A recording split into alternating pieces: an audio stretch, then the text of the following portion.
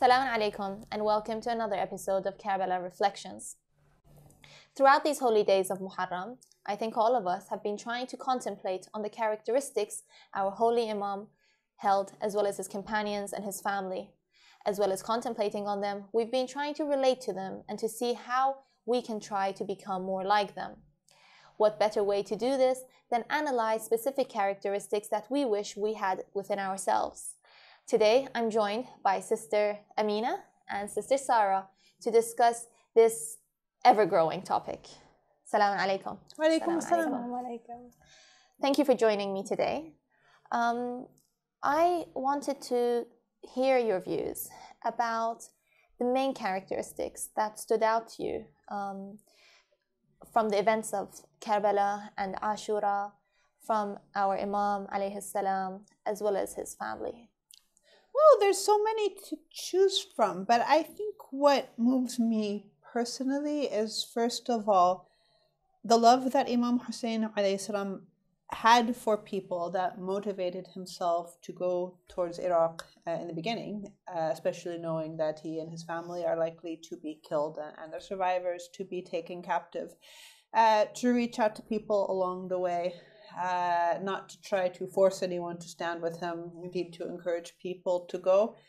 Uh, and I think one of the reasons that someone like him suffers so much, of course, anyone's going to suffer if they're in his position, but the more the more your soul is developed and the more your capacity to love, then the greater your capacity is to experience pain and to be hurt and yet that did not interfere with his faith, which is basically the other characteristic that particularly stands out to me his uh, continued trust in Allah, and again, the love of Allah, remembrance of Allah. Uh, up until his very last breath. Uh, and you have some of the dhikr of the Imam and the prayers of the Imam, which have been passed on to us.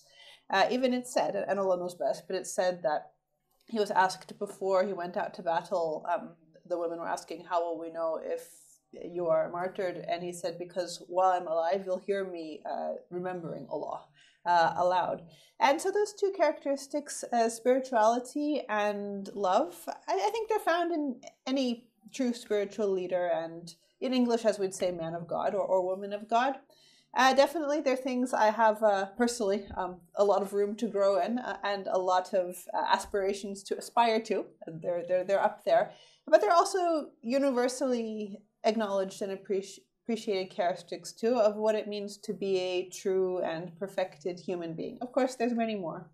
Yeah, um, for me, I think personally, just um, seeing the seeing how bravery has been intertwined in uh, with faith stood out to me because I've always found bravery as something that people think someone is either brave or you're not.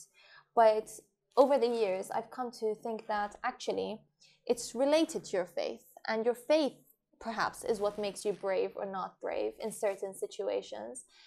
I'm sure no one would like to find themselves in a situation where you know that you know your 6-month-old baby is going to get slaughtered. However, that bravery came from the faith that Imam Hussein had, that Allah knew best, that everything was happening for a reason. And that personally for me is something that I'm aspiring to every single day. Yeah, I think for me that's the that's the main one. What about you? I think it's phenomenal. I think both the points you've mentioned are so beautiful because it's something that you can so relate to in your almost your everyday life because I think as human beings it's our innate nature. Like inherently everything is intertwined. Your lack of gratitude, for example, can lead to a lack of perspective where you think tests or suffering are actually some way of God punishing you rather than bringing you closer to Him. It's not natural for a human being always to understand what they're going through when they're going through it. But the level of certainty and foresight I think these people had, it's what, like you said, that carried them through in a way that they perhaps they had this, you know, just yakin in their hearts that they were doing the right thing and they were going with the right vision. And I think it's so easy to be short sighted. It's so easy to not even have a vision. It's so easy to get so lost and caught up in a moment that you start wondering, like, where is God in all this? You know, and I think it's something which happens a lot. You see it on social media. You see um, our youth struggling. You see, I mean, I say our youth, but it's all it's everybody, you know. And this um, this ability to see nothing but beauty, like Sayyidah Zainab says. Yes. I mean, you think about the psychological process that goes behind saying those words, and in a moment like the moment that she did, you think, where has this human being come from? She you know, sometimes people say things like, you know, the imams are unattainable, their level is unattainable, their perfection is something that we will never compare to. But Sayyidah Zainab, I mean, she is the daughter of who she was. She's a granddaughter of who she was. But she had this, this uh, energy about the way that she says these words with so much conviction that challenges anybody human, any human being listening to her to think, would I really be able to do what she did? Would I really be able to, even in situations that I'm facing in my life, to be able to turn around and say, yeah, actually, I see the goodness in this. And I think a big part of seeing that goodness is knowing that you don't know the entire picture. You don't always know what that goodness is in the moment. Maybe, like you said, like one month down the line, you'll know it, or one year down the line, or 10 years, or maybe never actually. Maybe never. Maybe that is what God's testing you with. But to keep centering yourself back on that this idea that everything is happening for your best and everything you're going through is happening for a reason and your sufferings aren't unseen. You know like imam hussein says that everything is more bearable for me because you are watching me you know? And the, the words of poetry that he recites to allah when he's on his you know i don't even want to say deathbed when he's on the floor in karbala. So these things are it's very powerful to even take one of these things and really dissect it to the level it deserves to be dissected. Something that we couldn't you know it's something that we can strive to do. But i think it's such a university of knowledge that it's so hard to encompass just one thing and say this this thing inspires me on such a you know superficial level. Yeah i think i think your point is you, you said it very well I, I do agree that I believe every one of these characteristics that our Imam or other members of the holy household held deserves a whole, mm. maybe years even, to understand the intensity and the, the deep level of faith that was behind it. But sadly, we don't have time for that, um, at least in today's episode. Hopefully, we will down the line. So we're going to have to speak about more general um, characteristics, but I would love to um, dissect these characteristics, yeah. like you said. Um, I think that level of um, the ignorance I'm referring to is also an awe when it's like an equivalent to a feeling of awe that you have yes. just knowing what you don't know about these personalities what sure. you don't know about what happened you know and i think it's just um, again, I think perspective has a lot. This one thing that I'm really trying to take this year for myself in Muharram is just the idea of perspective. That I think every single year you have this holy month come, and people will say, "Oh, it's a rhetoric." You know, we're hearing it's the same thing. We're hearing the same thing. That what what's changing on the pulpits. But actually, the thing is that we change. We are on the spiritual journey ourselves. We're going, we're evolving ourselves either towards Allah or far, further away from that path. And I think that the various points that we're at in our own life, whether you are at that point of motherhood or you're at that point of being a young girl or your child is a young girl or you are a young son to an elderly father or whatever the relationship is, I think God created this entire the circumstances of this day in such a way that was meant to teach us at whatever point we are in our life. And I think that's the miracle of it. It's just thinking that we can never know enough. We can never um, dissect enough. We can never understand enough, you know? But it comes down to our own commitment to trying to relate. I, I, I like your point, and I think um, what you said about uh, the Muharram Majalis being a bit repetitive, mm. maybe it's that, maybe we are also to blame in the sense that we might be looking at it through a repetitive lens. Perhaps that same topic, if we tried as an individual, for me personally, if I tried to approach that topic in a different way, maybe I would understand more than more from it instead of just being like, oh, you know, I've heard this before, not going to listen anymore. The same way that we can dissect these characteristics so very deeply, I think it goes with everything in Islam. It's it's so deep and so meaningful and so complicated. Every single ruling, fatwa, ayah, um, hadith. That um, I do think the more you go into it, the more you understand what Sayyidah Zainab said when she said that she sees nothing but beauty, even in a time of um, such an atrocity. Um, I think the issue is not being repetitive. Allah repeats. Surah Ar-Rahman has a lot of repetition in it. And yet, anyone who listens to it or reads it will say this adds to the beauty of it. You see, for example, some tile mosaics, they repeat. Uh, repetition is something that appeals to the human being, in fact, uh, in many ways. Uh, we generally don't get tired of listening to the events that took place on Ashura. We just say essentially the same thing every year. If we're starting to add in things, there's probably a problem because they're coming from somewhere else. But in, in general, it's not the repetition that bothers us. We, in fact, oftentimes look forward to hearing about um, what happened because we do connect emotionally. Definitely. I think the main thing is that remembering Imam Hussein, peace be upon him, and especially the first 10 days of the month of Muharram, should enliven the heart, especially in this day and age. In many places, we live in places that I believe are a bit spiritually deadening for a lot of mm-hmm. reasons. We don't need to get into why this has happened in modernity in a lot of places, uh, I think, especially areas where, um, you know, bigger cities where people don't have roots and so forth. Yeah. Uh, there's something about the lifestyle we lead that lead that doesn't always nourish the spirit. Of course, it varies from place to place. I'm not saying it's like that, but this is a time that people look to to awaken their souls. So I think that what we look to is to hear things that speak to us directly. As they say, what comes from the heart uh, reaches the heart.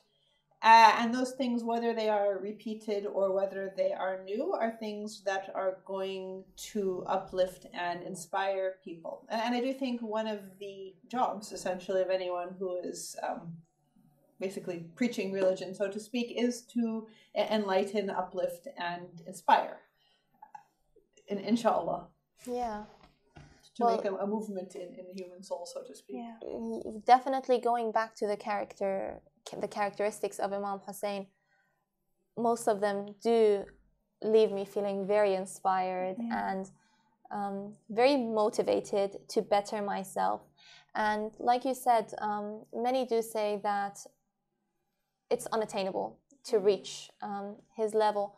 However, that's, in my opinion, not always a negative thing. Mm-hmm. The fact that we're doing the very first step by by looking at those characteristics and wanting to have them within ourselves yeah. that's improving ourselves yeah. and that's ultimately what we're trying to do right so seeing something and it doesn't necessarily always have to be an Imam Hussein. Islam encourages us to do that with everyone around us.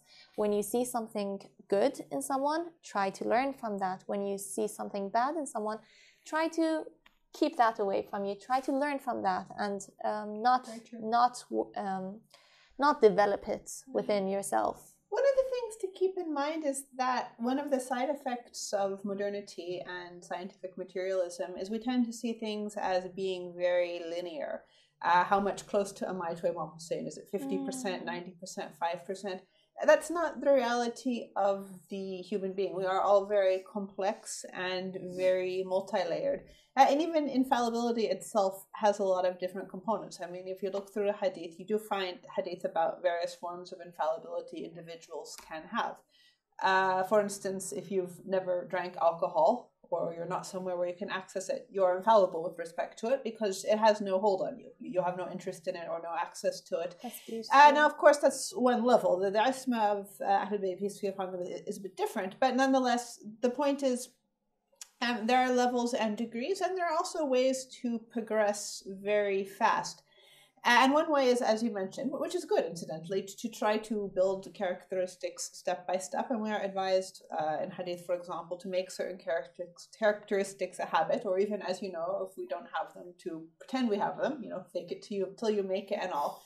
Uh, but on the other hand, there are other mechanisms within the human being that can make someone progress very quickly. Uh, and this, again, is part of the value of remembering Imam Hussein, peace be upon him, emotionally. Because when you have that emotional connection and that spiritual connection, uh, that can transform mm. someone in a very non-linear way, so to speak, uh, and even inspire them to give their life, as some people did on the day of Ashura. They defected and joined the side of Imam Hussein, peace be upon him. Um, so, basically, um, I don't think it's always a virtue to look at at what level are we are compared to the imam, but rather we, we understand that one can be pulled towards uh, what the imam stood for and is inviting people to.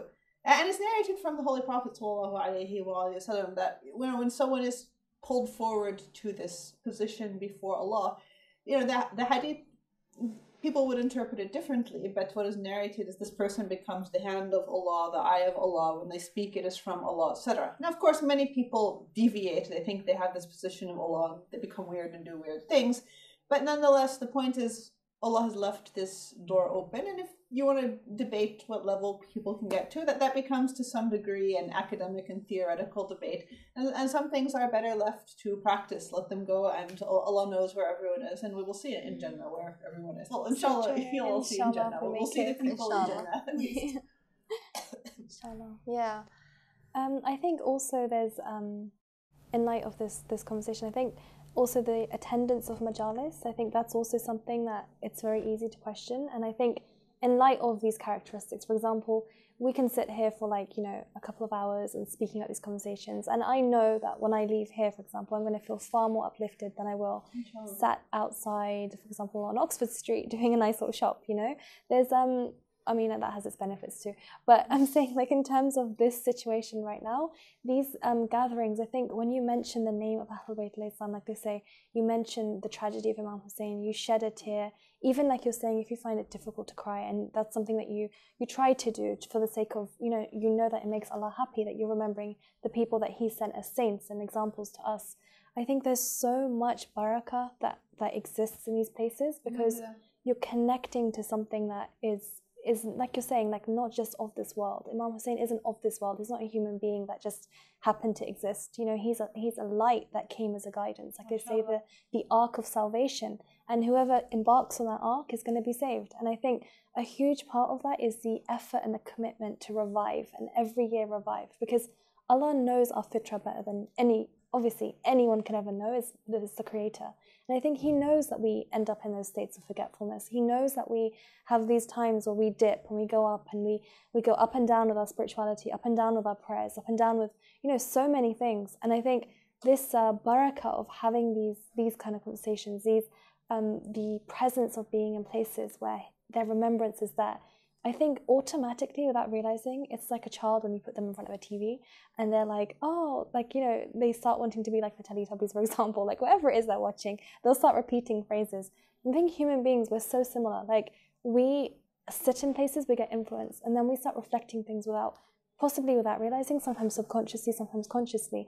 And I think the blessing of being able to hear the moral traits, hear things like the forgiveness towards Hurr, the um, the humanness of Imam Hussein on that day, of feeling the pain of taking that arrow out of his son's chest, for example. It's something that that humanness, that pain, that vulnerability, and finding the beauty in that actively. It's like ten days of actively trying to purify yourself to get some sort of grasp on things which perhaps every other day of the year, 355 days of the year, you're not even hearing. Sometimes perhaps people are like isolated and their environments, isolated in university environments, gone to other sides of the country. They've lost their family members. They're alone, you know? Like a lot of people have struggles which are beyond our own imagination. And I think that revival, that warmth of the heart, that presence that you feel no matter where you are in this life and knowing that you have that thing to go back to it's such a it's a blessing in its own right i, I agree with your points um, and i think you phrased it very well um, personally i find imam hussein and the ahlul bayt's message so inspiring, not only because of the events that took place at that certain time, but just as a message that's so universal that applies to me, maybe on a smaller scale, definitely on a smaller scale, but applies to my day to day life, regardless of what country I live in and regardless of how many years have passed um, since the events of Ashura. Yes, I, I completely agree. Uh, I think we do take a lot of inspiration from our lives from people like Imam Hussein alayhi salam, if, if we do look to them.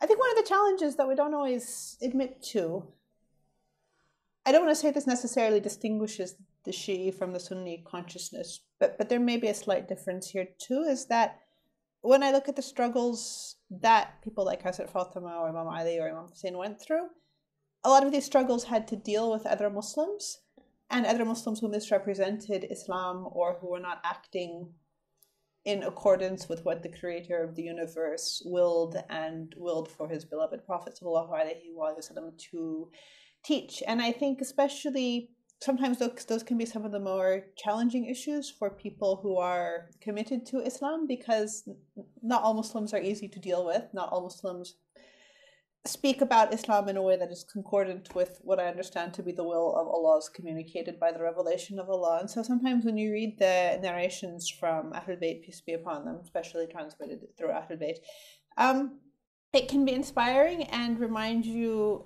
of why you're here in the first place and what you're doing this for in the first place. Otherwise, so the world can become very confusing and many people become confused. So May true. Allah keep us from being among them. Inshallah. There's some um, books that I've read from Catholic um, priests who've done extensive research on the lives of Sayyidah Fatima and mm-hmm. Sayyidah Zainab, and I believe they're still writing books on it. Um, and it's so inspiring because it's moments like that where you mm-hmm. realize that actually there's this non-Muslim who's so in love with the whatever you want to call it is what the Ahlul Bayt represented, whether it's truth, whether it's you know that integrity, whether it's that loyalty, it's these moral characteristics but they've dedicated their lives to understanding these women in ways that I think I wouldn't even compare to, you know? And it's I think it's moments like that where you think, like the non-Muslims who are there, even on the day of Ashura, and like you, you have people from other sects even who look at, at the 10 days of Muharram and think, you know, the message of Imam Hussein is something that we, which shouldn't be constrained to just us. That's basically what I'm trying to say. And I think when you look at the inspiration it has to other communities, it teaches you how vast that ocean is, that Definitely. the the different ways that you can approach it and the, understand it. It's just infinite. One thing you pointed out about the uh, Catholic priests, uh, Catholic priests, um, I also think it's amazing that we that the message of Imam Hussein has been so strong that people from um, other religions look into it. But what I respect about that is that they go a step further after their research and they put it into action. Hmm. So I'm sure you've uh, seen the pictures uh, where the priests actually attended the Arba'in walk to Karbala. And that's also something that I can I, I feel I should learn from. Sometimes um, as individuals, at least personally speaking, I come across an idea, I agree with it, I support it, but um, after after thinking about it down the line, I feel like well, my actions my actions didn't reflect that. I had mm. learned that, and I think that's an important thing that we can also learn from Imam Hussein is that perhaps belief by itself is not always enough. Mm, we true. need to take it a step further. Yes. We need to implement it in our daily lives. Um, we need our actions speak louder than words. Well, definitely there are Christians, including Catholics, who look to their theology uh, as inspiration and guidance for uh, working together to uplift the human condition and especially to be united with people who are suffering and disenfranchised and disempowered uh, and to to understand that this is not the will of God to have this sort of um, intense stratification in the world and definitely to put it into action. Yeah, that's a very good conclusion. Thank you. Thank you again for your time. Um, I've been honored as always. Likewise. And thank you, thank uh, you. Sister Saarah. Inshallah. I will um, have the pleasure of seeing you again soon. Thank you.